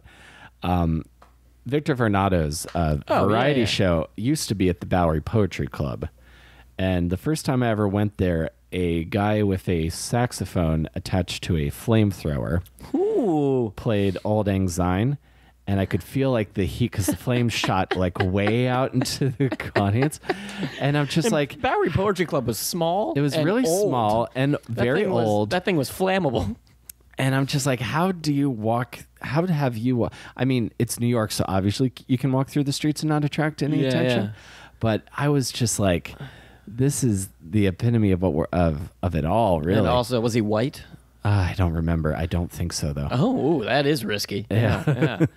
Because I remember seeing, I saw a black guy in Bushwick a few weeks ago who just walked down the street with an axe, and I watched two police cruisers quickly zoomed up on him. But I like, I was watching and like I almost recorded because I'm like I'm I watch a lot of like film the police type videos like Sure. police accountability, but I've also never had the sack to just do it Uh-huh. because police don't like that. Uh, Yeah. And I really wanted to because I was like, it's not illegal. Like, there's nothing illegal about having an axe in New York. It's like you can go because I've seen them at the hardware store. Like, you can go buy an axe. So why are you like you can you can just walk around with axes? Yeah, or or oh my god, I can't. I I imagine. I bet I know why there's no horror films shot in New York City. Really, I've been in a couple, but they've been inside a warehouse. Oh yeah. um, because if you, uh, your entire cast will get shot. Yeah. Oh yeah. It won't go well. yeah. because that will be some suspicious looking shit. That's why there's lots of like romantic comedies, lots of like you know young people, like a lot of dialogue heavy, heavy stuff. I feel is done independently in New York. Yeah. but- Woody Harrelson didn't write any horror movies, right. or not Woody. Uh, Woody Yeah. Allen. Yeah. Yeah. His his great his love letter to New York horror. right. Um, so w- w- one more thing I want to ask you: what uh, what is something comedically you haven't done yet that you want to do, and what do you think? Uh, what are some goals you've got, comedy wise, for the next year or so? Well, the the one man show is big. I like really need to because that's one of those things like I've started and dropped and started a bunch of times where I need to just like finish. And I was thinking about I've taken a class. I know uh, some other comics have like signed up and basically it's it's something like that more is like it just creates a deadline, like a hard deadline, so you have Yeah. Uh-huh. to get it done. Uh-huh. Um, so that would be really good. And then other than that, I mean, I'm not. I've reached the point where I'm not trying. Like I'm not putting the effort in where I used to, like going out every night and like trying mm-hmm. because I don't really see because I've my I've I've had the dog walking company, and that is a much clearer path to Yeah. financial stability and a future mm-hmm. than stand-up comedy. That's one thing you learn doing comedy in New York is you're like you'll go to an open mic and some dude who's been on TV four times will show up and you're just like what are you doing here man like Right. like why it's so insane before like when you're younger and you think anyone who's been on TV has just like made it Right, right. and then you get here and you're like oh wait you've all been on TV Like, Uh-huh. and and you're and none of you can pay your rent still oh yeah, or, Right. or even just like, uh, or one of the impetus for like trying to really build up the podcast and become like, uh, my own sort of thing is that I asked about doing uh, a friend's show, and she very politely uh, said that she can't get everyone on that she wants. And then I started seeing the lineups, and I was like, oh, I'm not famous enough. yeah yeah, I yeah. haven't been on TV yet. So, Yeah. and I know that's But not what she was saying, but it's that's what I took from it, and that's where I was like, okay, well then I'll just get. But I'll it's crazy how those like comics on that show who are all on TV. I mean, I don't know your friend and her show, but they probably weren't paid for Yeah. that show, which is one of the things I learned back home when I did that when I first started and did that contest. One of the Uh-huh. judges was like an old school Boston, New England guy, Yeah. and he told me uh, right after uh, right after the contest, I think he was like, "Don't ever work for free on Friday or Saturday." Uh-huh. Like if you're doing a Friday or Saturday show, that booker is getting paid. You need to get paid too. And I stuck to that. Uh-huh. Like, and it was before I moved to New York. There was like a Friday show I was supposed to do at like a venue I'd done a bunch, and I called the girl who was booking it. I was like, "Wait, are you?" Because she wasn't paying anyone. I was like, "Are you getting paid for the show?" And she was like, "Well, yeah, but I need the money for." Like, gave some excuse about why she needed the money. I was like, Yeah. I was like, "You know, I, I understand, but I need to get some of that money too." And she like wouldn't give me any, and I was like, "All right, I'm not doing your show," and just said no. And then Mm-hmm. I'd been. This was oh man, this is a great moment of realizing what I had done when I moved to New York. Yeah, yeah. I'd been in New York like a month and a half maybe, and used to always go to I don't know if it still even exists O'Hanlon's on Uh-huh. 15th Street. And they uh, Uh, oh, what's his what's his face I think the it, mic I think it. Fifteenth wasn't it like fifteenth and like First Avenue or something? yeah, like yeah, that? or 14th. I think it was 14th. Yeah, I- because it was yeah. a two way. that bar still exists, but they don't do comedy. Anymore. Yeah, yeah, they changed. They, I was, I used to, I was still doing comedy there when they kicked the comedy out and made it a pool room. They just like, they're like, Yeah, no, yeah. no, we'll make more money if we just put pool tables back there. Yeah, to be fair, had- they're not wrong. yeah, that's true. They had, I can't remember his name, but he ran the open mic there and charged. It was five dollars to get on the list, and Uh-huh. he ran it like Tuesday, Wednesdays, and Fridays, and made probably like 150 to 200 dollars every time. And this was the best part: is he would raffle off uh, comedy albums. Mm. Like as prizes, but they were comedy albums he burned off his computer. Yes, I So- have one. Yeah, yeah. I had I won like Jim Norton's like things I made from Gorilla's fingers or whatever it is. So this Uh-huh. guy is taking open mic comics money, five dollars at a time, and then pirating professional comics uh, material to like hand out to the open mic comics as like an, a reward. And I was like, man, you are just Yeah. fucking everyone on both ends. This is yeah, ridiculous. That that's when that's when you realize that you know there's being paid to do comedy in New York. Yeah. There's uh, a dark side to that. Well, also. the uh, so yeah, so I was doing that show for a while, or like hanging out there a lot, and I'd been Mm-hmm. there like a month, a month and a half. And one of the com, I was like at the bar after, and one of the comics came up and was like, "Oh, hey man, you're great. You want to do? I run this uh, Saturday night show at this place, uh, blah Uh-huh. blah blah." And I was like. Yeah, sure. I'd love to. Uh, what's it pay? And he just laughed, right? Like he just like he thought it was the like he thought I was making a joke and thought my timing was like perfect and great. And I was Uh-huh. like, uh, oh, okay. Oh, nothing. All right. I'm glad I figured that out. Mm-hmm. Uh, there is no money in this, and it was also I'm not. I, uh, it was that same place used to have a big. They had a very big show. Uh, called Hot Soup. It's moved a bunch of times and changed names, I think, since then. Mm-hmm. I don't want to say who the comic is because he's like legit, legit big time now. Mm-hmm. And I remember I would go there and do that show sometimes and just like hang out because it was right around the corner from my apartment. Mm-hmm. And it was after the show, and I'd been hanging out at the bar for a few minutes. The show ended, and the host came out, and we were like talking. And there's this beer that was next to me at the bar that had been abandoned. It was like three quarters of the way full, and Uh-huh. he just goes, "Hey man, is is that your beer?" And I was like, "No." And he was like, Do you, "Is that?" And I was like, "I don't think it's anyone's." He just went, "All right," and just grabbed it and was drinking Uh-huh. that abandoned beer. And this was a comic who, like, everyone was like this guy's great. He's he's like he's super successful and crushing it in New York. And I was like, he's drinking abandoned beer. he is not crushing it by and like the standards we have for crushing it, which Yeah. is just and also why are you drinking it? Like you put on a show at this place that sells out every week. The back room is packed. They should be giving you all the beer you want. And it was like, mm-hmm. and that was where the reason no one was getting, no one gets paid. I think in the city is no one negotiates with the bar to get money. Right.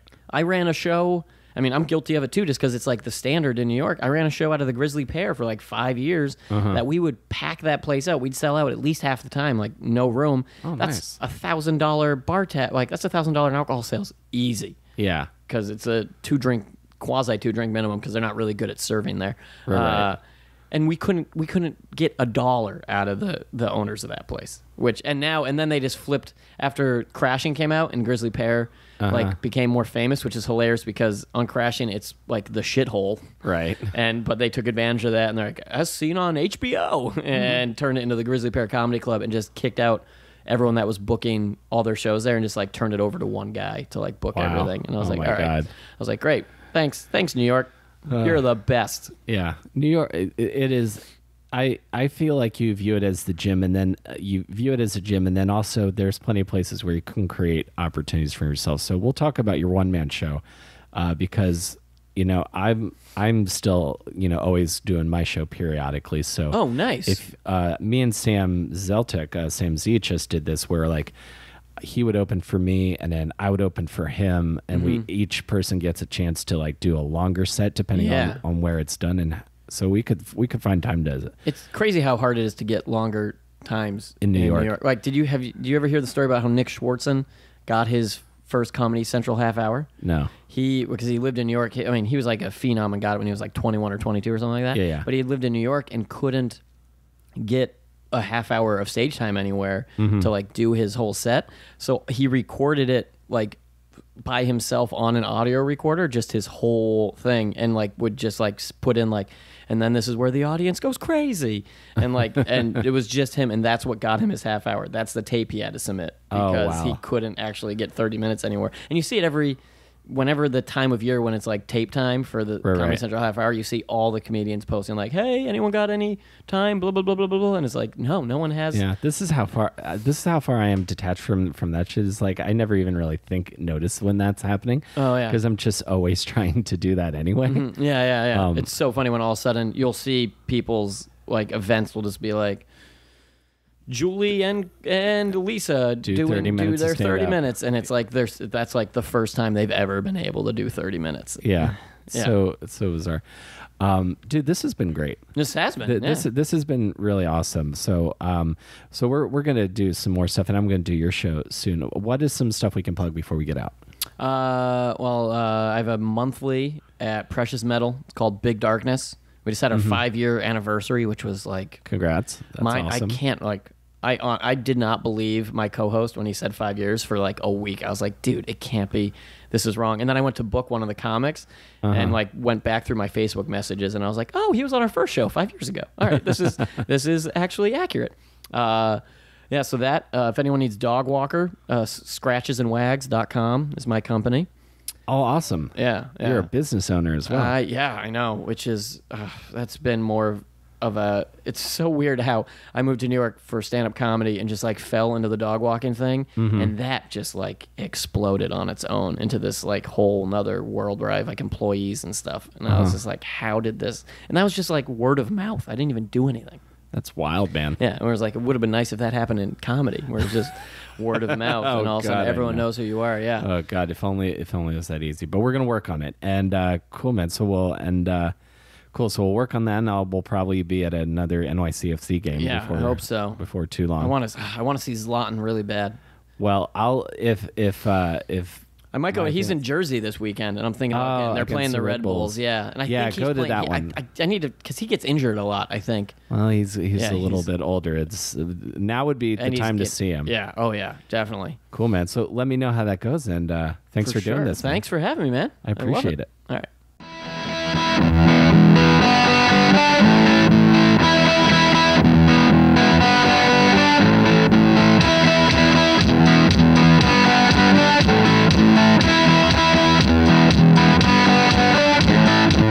I didn't know we were going to talk about any of that when he sat down, but I'm so glad that Brad was uh, so willing to to discuss uh, his background with me, and I'm glad that he's in, in a good place. And I'm going to be doing his show uh, before long, or I might have already done his show by the time you hear this. Uh, so thank you guys again for checking out my podcast. If you want to leave a review on iTunes or add us to your favorite playlist on Stitcher, that helps uh, spread the word about the show.